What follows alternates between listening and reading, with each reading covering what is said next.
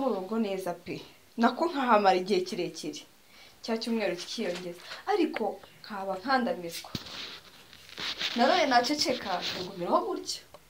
Ko nta kintu bintwaye guma Ese ko nabasa ntabwo wakumva ikintu cyose ngo uhite ukivuga uva nkubwire ariko leta ntukavuge. Wo- wo- wo- wo- wowe wavuga yesu ariko n'ama- n'amabara twakoze wowe aho. aratinyuka kuvuga iryo zina? Rekeraho ibintu uri kuvuga ntabwo ubizi sibyo Izo ushobora kuba ari wi- witiranyije reba neza wibuke neza izo nzozi zawe ntabwo ari njyewe wowe wowe sha njyewe njyana Okay. umwana nawe Na- Wita inda yawe. urasetse ariko njyewe njye mubwire madamu sohoka uza ujye kubwira bene ntacyo mpana ntabwo sohoka sohoka sohoka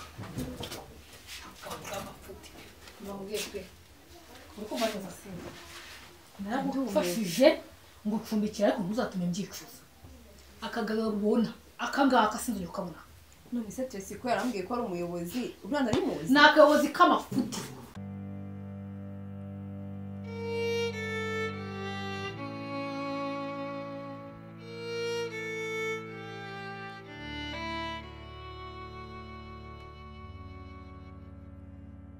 Kirirwa mu matiku nta kindi gashoboye. Ni ukungendaho gusa. None se ari byo mupfa mbabwire birahari byinshi cyane namubwiraga ko uri umwana mwiza we akambwira ko uri umwana mubi nyine. Ntubyumva se nyine? Simusha. Impamvu abimva ko ndi umwana mubi ni uko ntabwo muzana ko. Ni akagabo k'akanyamatiku katazi inshingano zabo sinzongera ugasanga hano.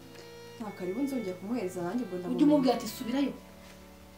Ndabimenye rwose ntabwo nzongera. Anita narinjirira ngo tuganire. Ndagira ngo musomere mesaje kirima yanyandikiye.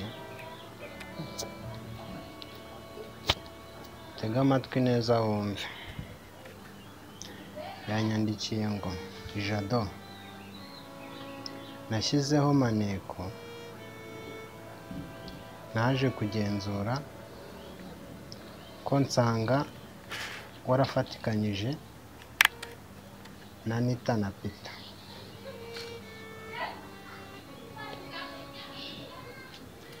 None ubwo guhera ubu ngiye kuziyizira mbiyishyurize. Bitari ibyo videwo nkazishyira kuri YouTube ku ma WhatsApp ku ma Facebook ibyabo bikajya hanze. Kuko naje kubona ko uri mu gatebo kamwe nawe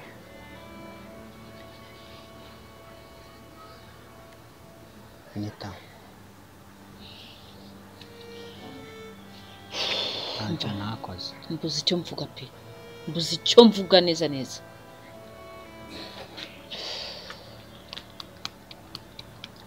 Ntako nageze. Umva ntako utagize pe sibyo? Ntako utagize kandi mva na- nakurenganya pe. Anita maje no kubona ko Clement ari wowe ushobora kuba yari- yarohereje uriya muntu ngo anyice. Niba umuntu ambwira ko yashyizeho undi maneko ngenzura bishoboka ko ari we waba warashyizeho n'uriya muntu ngo abe ari we unyica ntureba ntubyiboneye? Ibintu uri muri yanshinja koko? Mutumbabarire kabisa reka nkubwire. Ndabizi waratwitangiye. Waratwihanganiye. Amakosa natwe ntabwo ari ayacu.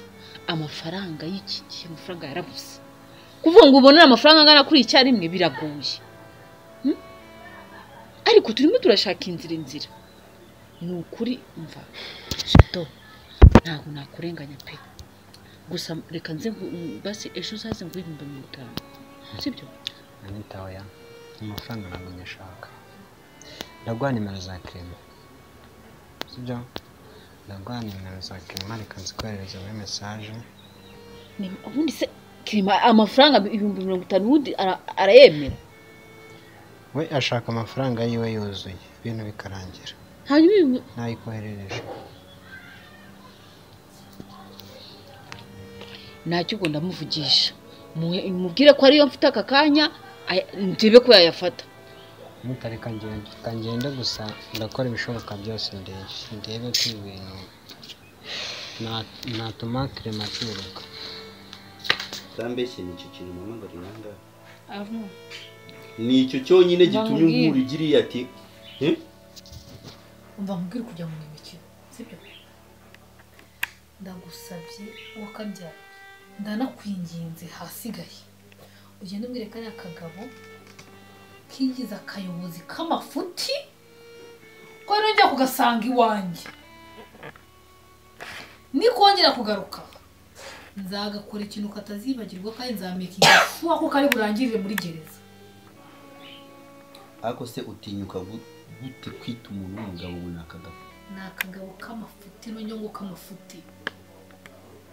Turesi uratinyuka ugafata umuntu w'umuyobozi ukamukuba na zero for real. Umu- impamvu uri kumwitoza ni uko wamushyize mu kwaha kwawe umutegeko Ah. mva nkubwire. Ngenda mugutumyeho nk'inshuti yawe ngo mwigane kuba yaraje ahangaha ni cyo kibazo ufite? Ahangaha ni urugo rwande ntasobanura rwanda hano nje umuntu yemerewe kuza kuhandeba mva nkubwire rero. Naramuka igarutse hano.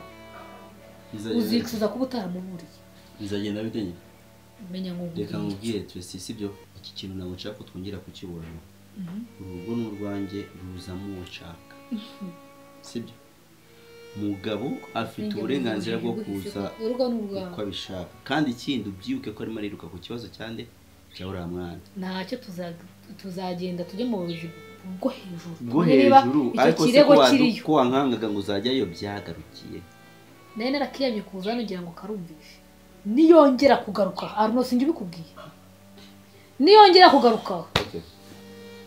Umwanzuro ni uyu nguyu sibyo? Uri umutima w'urugo nk'uko bivugwa ngo umugore yaba ari umutima w'urugo. Umugabo ni iki? Niwe utekerereza urugo. Wese utekereza urugo. Gusa nawe wishyira mu bagabo. Ntabwo ndi umugabo. Uwo umugabo we? Wowe utekeye ugatekereza urugo. Ubwonko bwawe bwaba buba mu ndaya buba mu mafuti ugatekereza urugo? Ubuse warugeza ku ki turese ibyo ngibyo ntubigarure.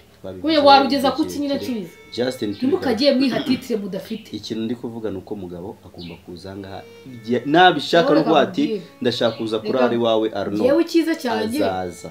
Icyiza cya turesi ntabwo nkora ikintu nakubwiye. Ndabikubwira bimenye. Nubihagarara nubitsimba ntakaza ubwo ikizaba ngewe amaboko yombi. reka nkwiyamenye ninongera kumva ngo haje umuntu. Warabikoze ndakureka mugabo uraza uramusura nyine. N'imbwa ari kumwe na claire bamusura. Mugabo arampamagara abimbwira byose. Waje no kumpamagaza byose mbizi. Ninongera kumva ngo ageze ngaho uwo twese. Nzakora ibishoboka byose. Papa wawe aze hano. Kandi papa we nagera aha ngaha muzasohokana. Uzi ko ko twese wowe urinde se wo kunsura urinde se nushaka gukomeza ntabwo ari ubwa mbere naba Wowe ngusohoye urinde. Justin ntabwo ari ubwa mbere nawe ariko si ubwa mbere nawe ngusohora urabizi urabizi ni kimwe kimwe. Nakuraje hanze amajoro menshi. It's okay. Gusa menya ko ntuze ntujye mbere. ntunyiyemere ngo si ubwa si ubwa mbere nzaba nigendere. Reka nigende na byo kuvuga ngo papa Gusa- azaza hano papa se ko hari icyo apfana nawe menya yuko nagaruka akamusohora ahubwo we nza- azaza hano. azamusora se byonyine? Ko nzamusora amugeze ahandi hantu haba azicuza wari umeze ute se ahandi?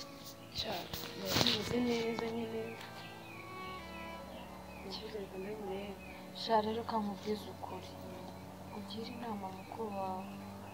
Kuko afite ikibazo. Nyine wa mukuru wanjye Mm. afite ikihe kibazo? Njyewe naramubonye ngiye kuko nari namubwiye ko akunda arambwiye. Ngiyeyo mbona ni umuntu ufite igihungange se mbivuge simbivuge sinzi ngo ni icyo ashobora kuba hari ibanga yumvishije hariya kwa puresi ashobora kuba hari ikintu yigeze kuba yakumva muri we akaba yumva atakihererana.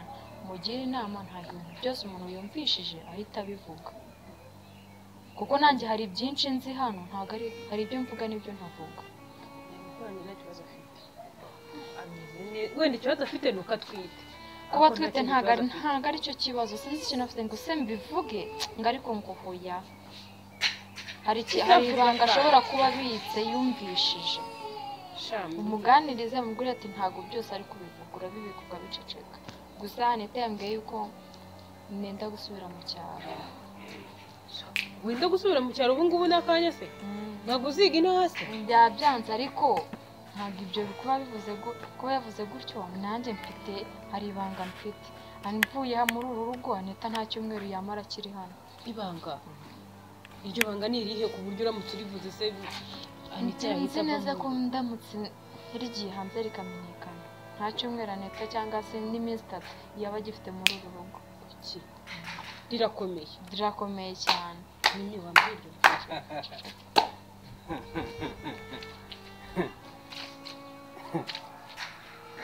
kami kami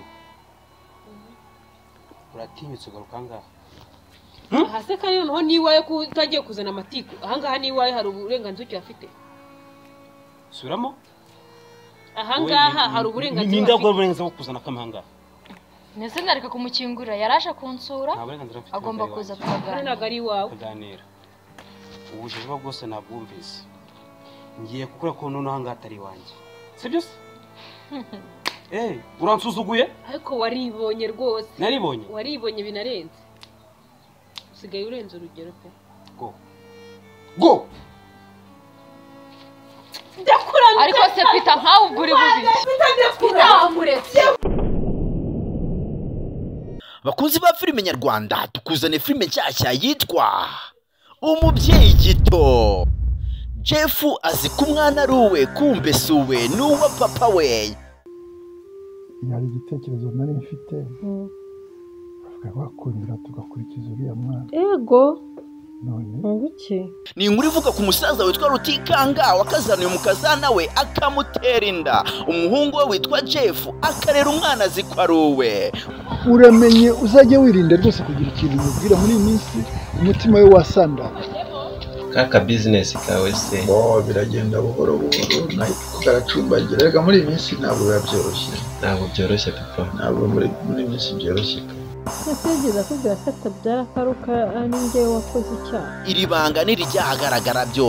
Jeff byo azabyitwaramo gute? Wambabariye kuko. Nta kibazo mpaka bizuba bifite amaraso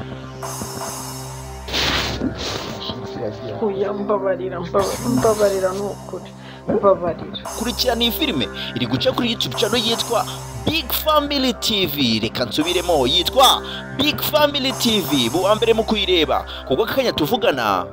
Yahageze!